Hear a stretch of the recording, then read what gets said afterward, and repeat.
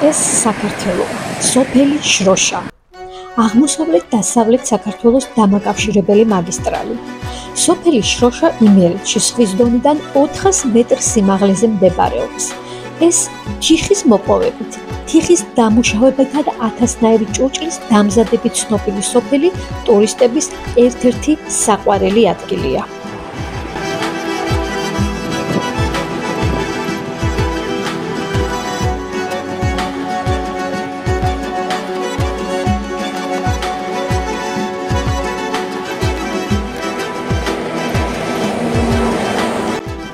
აი ესეც თონე, სადაც ქართული ტრადიციული შოთის პურები წვება.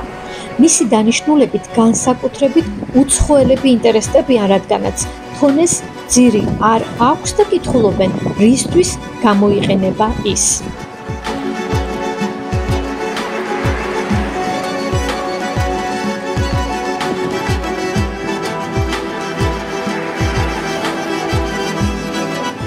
აღმოსავლეთიდან დასავლეთ საქართველოში ან პირიქით ვერ მოხვდებით თუ სოფელ შროშას არ გაივლით და ულამაზეს თიხის ნაკეთობებს არ ნახავთ. ბუნებრივია, აქ ყველაფერი ქართული და ტრადიციულია.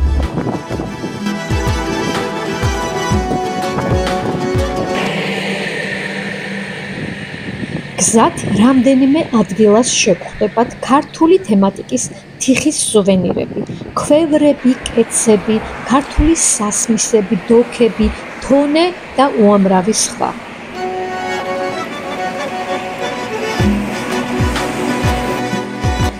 ამ სოფელს საკმაოდ დიდი ისტორია აქვს. სოფლის მოსახლეობის ძირითადი შემოსავლის წყარო კი თიხაზე მუშაობაა. თიხას კი ადგილზე მოიპოვებენ.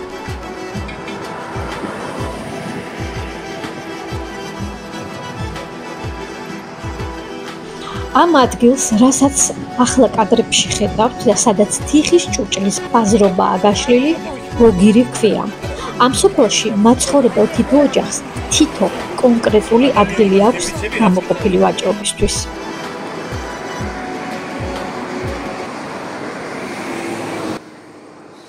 როგორც ადგილობრივები გვიყვებიან, თიხაზე მუშაობა ერთგვარი თერაპიული პროცესია. სანამ ჭურჭელს გასაყიდად გაიტანენ, ყველაზე საპასუხისმგებლო ეტაპი მისი გამოწვაა. ეზოში იზოლირებულ ადგილას აგურით ნაშენი დიდი ბუხარია, სადაც ჭურჭელს აწყობენ და მაღალ ტემპერატურაზე წვავენ.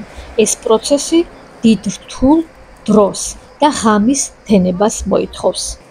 ესეც სხვადასხვა ზომის კეცი.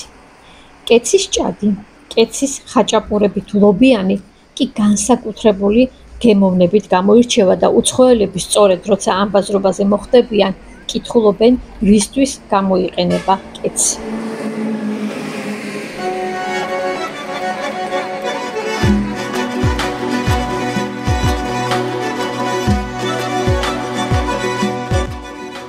თანდათანობით ტურისტების სიმრავლესთან ერთად პროდუქციის მრავალფეროვნებაც ფართოვდება, რასაც კადრში ხედავთ.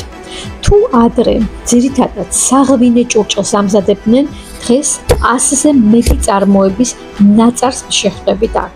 და კადრში ამ ყველაფერს ჩემთან ერთად ხედავთ რეალურად პროდუქციის სახით.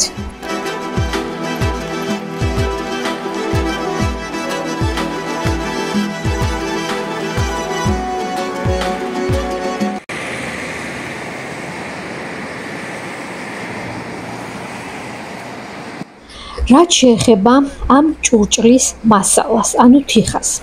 სპეციალური მიწა თვითონ სოფლის ტერიტორიაზე მოიპოვება. მეჭურჭლეები ერთმანეთში ურევენ თირს და აყალოს.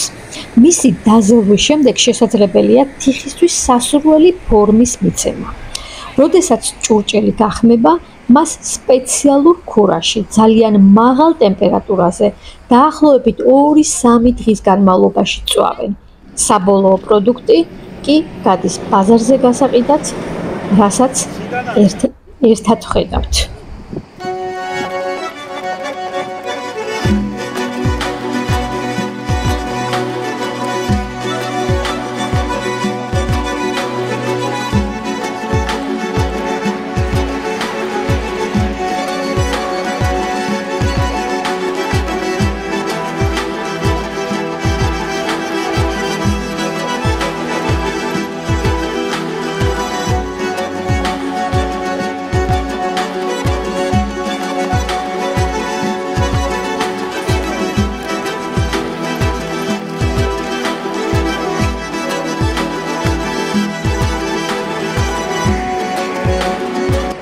ყველა ხელთნაკეთი ნაწარმი იმდენად ლამაზია, წარმოუდგენელია ეს ადგილი შენაძენის გარეშე დატოვო.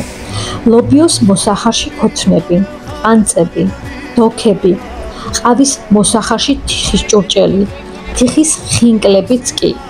ჩოხა ახალუხში გამოწყობილი ქართველები, ნაწნავიანი მოცეკვავეები, რას აღნახავთ აქ?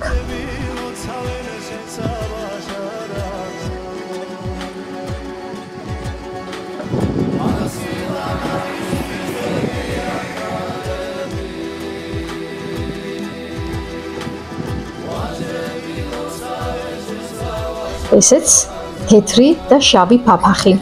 თეთრის ფასი 100 ლარია, შავის 70. ეს მცირე ზომის დორი კი 50 ლარი ღირს.